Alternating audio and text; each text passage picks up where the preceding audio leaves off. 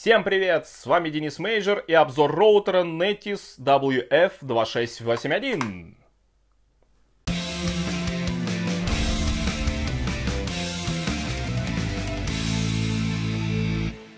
Но для начала вообще, почему я на своем игровом канале делаю обзор этого роутера? Мне его дали, сказали, слушай, ты потестируй, это игровой роутер, мы его сделали специально для игр, для геймеров. Но я подумал, ну, наверное, они просто сделали роутер с высокими скоростями, низкими пингами и назвали его игровым. Но это не совсем так. Помимо действительно высоких скоростей, поддержки двух диапазонов и кучи прочих плюшек, которые, безусловно, нужны геймерам, в админке этого роутера есть так называемый игровой режим. Как мне объяснили, по сути, это интеллектуальная надстройка COS, Quality of Service, которая распределяет трафик в пользу игрового. Роутер умеет определять, когда вы играете, и оптимизирует свою работу таким образом, чтобы еще больше снизить пинги. Но это, конечно, все теория. Поговорим о практике.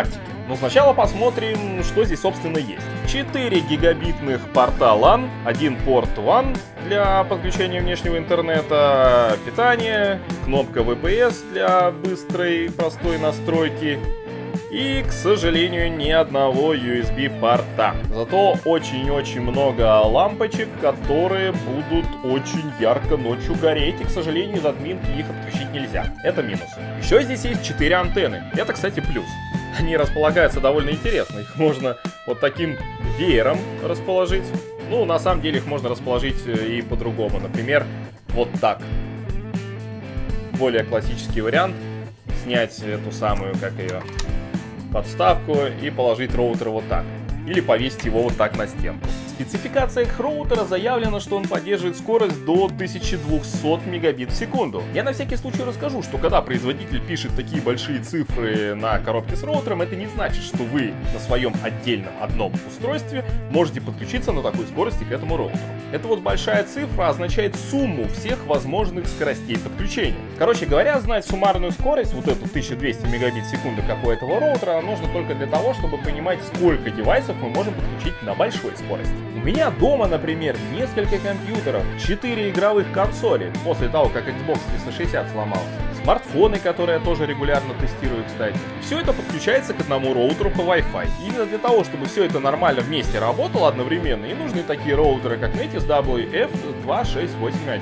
Обычно я пользуюсь роутером Apple Time Capsule, но, естественно, на время тестирования я использовал исключительно этот. И знаете, совсем не потерял ни в скорости, ни в производительности. В том числе это касалось игр, но, правда, играю я не на компьютере, а на консолях. Я, честно говоря, не уверен, умеет ли этот роутер определять, когда я играю именно на консолях, а не только на компьютере. Однако с сетевыми играми проблем у меня не было. Я играл в Doom, Star Wars Battlefront, Splatoon и в Mario Kart. В общем, все эти игры довольно требовательны к интернет-соединению. Как ни странно, даже Splatoon. Так вот, при использовании этого роутера у меня проблем не было. Настроек у роутера тоже очень много в админке, мне это тоже понравилось. Ну там port forwarding, ну и вдобавок у роутера очень приятная цена.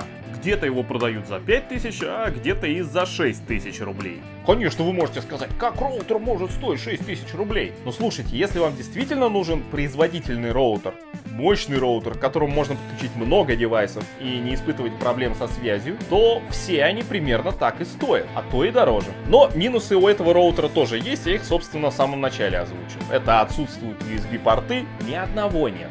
Ну хотя бы один-то можно было поставить. И неотключаемая подсветка на стандартной прошивке. Ну и внешность такая, что, знаете, не замаскируешь под деталь интерьера. Но если вам не нужны шашечки, а нужно ехать, то роутер очень даже неплохой. А с вами был Денис Мейджор. Подписывайтесь на мой канал, чтобы не пропускать новые интересные видео об играх, игровых консолях, ну и прочих игровых девайсах. И до новых встреч. Пока.